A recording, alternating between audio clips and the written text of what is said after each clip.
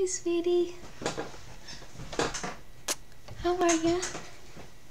So good to see you. We have a snow day. Yay. I'm so glad you live close enough that you can just walk over. Um, so it's a cold, snowy day, and I thought oh, we might start off with a tea tasting when you called. Does that sound good? So I brewed the teas, because I know you like to try my new teas anyway. And I got a new Amoda box. And unfortunately, it's going to be my last Amoda box, but just for a little bit. Um, I finally got my mom to start getting me kind of practical things for Christmas. And one of the things that she got me was a whole bunch of tea. So we're slowly working our way through that tea, but it will probably take us until um, almost the summer to get through all the loose tea that she sent us. So as much as I love, love, love, love Amoda, and I really do love Amoda, and I will get it again because I love trying the different teas. It's one of my favorite boxes. I just can't justify getting more tea when I have a shelf full of tea. So I may even start it up again before I'm completely done with the tea that we have, but once we've whittled away at it a little bit, because um, I just don't even have room for more tea right now. So, uh, but I did get a box um, recently, and I have opened. This is how a Amoda comes, and then you get your three teas in here. And I have to admit, I've I lost the card that came with my Amoda box. I don't know what happened to it. Um, but luckily they have all of their information online, so I can still read you everything about everything we've got here. And we've got Minty Winter Wonderland by Tiesta Tea. We've got Black Forest by Naked Teas Galore. And we've got Genmai Hojicha um, by Sarah's Tea Caddy.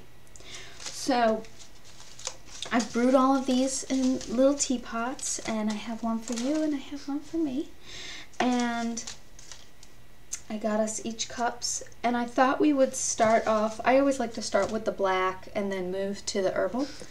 Um, you know, and I don't know why I do that. I think it's just because um, that's the way I drink throughout the day. I start with black, then I move to green, then I move to herbal because that works with my sleep schedule. So, um, so let me start off with this one. This is the Black Forest.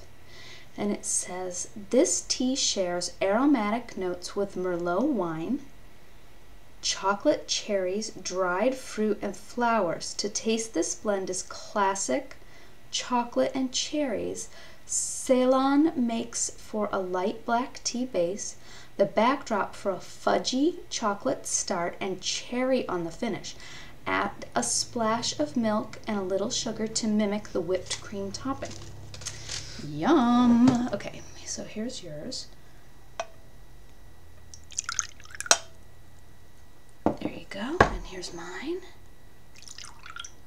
So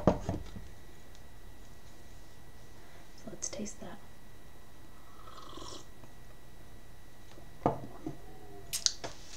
Mmm. So this has just Ceylon black tea, carob chips, dried cherries, dried juniper berries, and natural flavoring. Yum! It's a black tea from Sri Lanka, high caffeine. You want to have the water boiling. One teaspoon per eight ounce cup for three to five minutes. And let's see. They chose it because Black Forest cake is so tempting, they decided to extend the holiday inspired tea selections. The flavors are subtle enough to have this as a breakfast tea. Yeah, I would say this would be a good breakfast tea. It's not too heavy. Um, and they talk a little bit about naked teas galore here. Um, and luckily on their website, I've never really noticed, at the bottom of when you click on each different uh, tea that's on here, it says buy tea at the bottom. So you can buy each individual tea. Um, Naked Teas Galore, why, why we like Naked Teas Galore. They're local and we love to support homegrown. When we first called these guys up, it was like talking to a friend. They're a modest bunch who are good at what they do. They have one certified tea master on staff and two almost there. We continue to love every tea sample that Naked Teas sends us. Their teas and flavors are all natural, kosher, vegan, gluten-free, certified organic, and contain no allergens. They've um, they've sent teas from Naked Tea before, I believe, because I recognize that little blurb. So very tasty. Um, yeah, I like that a lot. What do you think? Do you like it? Mm. Yeah, I mean, if you're a purist, if you're really a tea purist, um, you may not like these blends as much, but I like them. I mean, I always have some regular, you know, Ceylon tea. I have some, you know, English breakfast. I have my more basic teas that I drink every day. I like these as sort of the added little when I want something special kind of kind of tea. So, all right. So the next one on here, let's see, is let's have the green tea, the Genmai Hojicha. I think that's what it's called. This is by Sarah's Tea Caddy um, a variation on two classics, Japanese green tea, genmaicha, and hojicha. With this blend, you get the sweetness and butter oh, and buttery popcorn of a genmaicha and the toastiness of a roasted hojicha. Savory and sweet, nutty and smooth. This tea is a perfect warming green tea for winter weather. This has just roasted green tea and toasted brown rice. I love, love, love, love, love brown rice tea. I was introduced to it at, in Indonesia, and the way they make it is they just really take unhulled brown rice and they brew it like tea. Now, it's not tea, it doesn't have any actual tea in it, but it's this brown rice drink and I love it. It's usually toasted brown rice, but sometimes I'd make it, I'd just buy like a big bag of unhulled rice and I would pour boiling water over some of it. And I really, really, really like it. So my guess is I'm to love this. Um, this is something else I got for Christmas. I had a nice cup that had a tea steeper in the top. It was more like a glass thermos. And my son broke it. Um, I was sad. My son broke it. But my mom had got it for me last Christmas, so my mom got me this this Christmas. And it's cute. It's kind of like a um, like a French press for coffee, but you just don't press down the um, strainer and it just keeps the tea from coming out the spout. So a little bit for me and a little bit for you. There you go.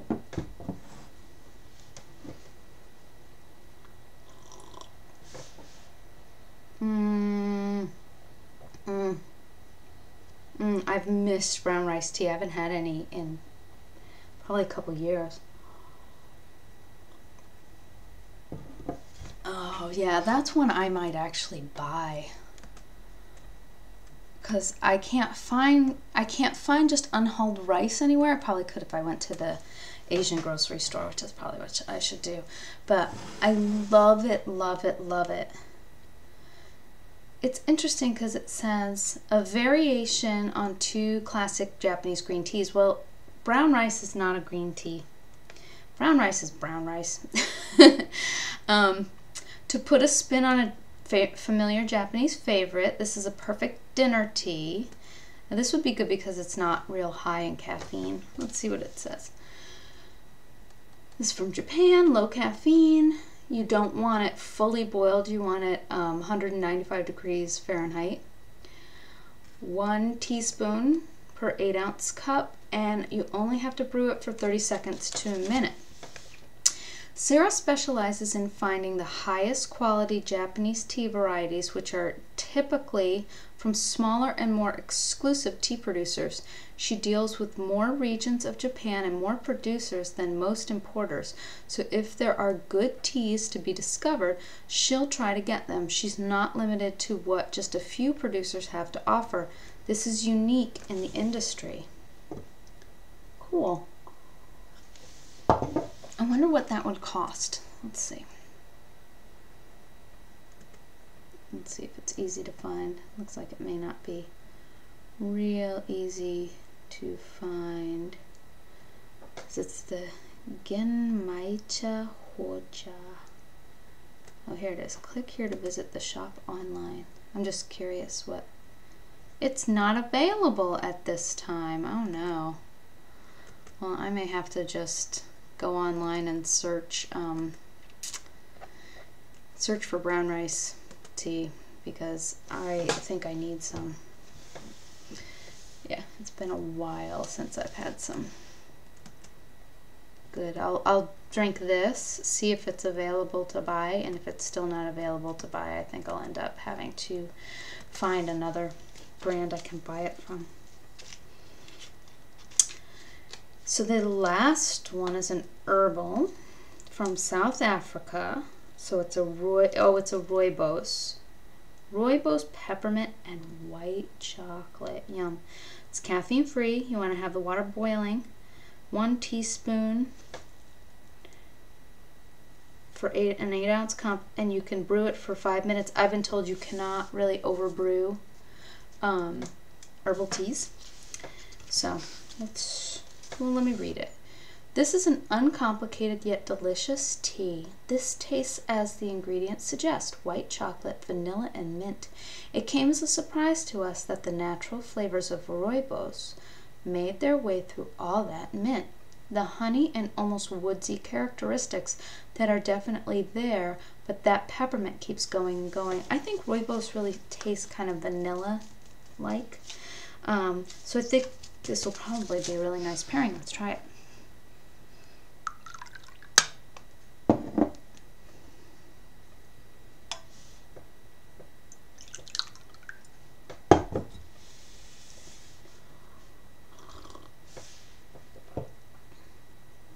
Mmm.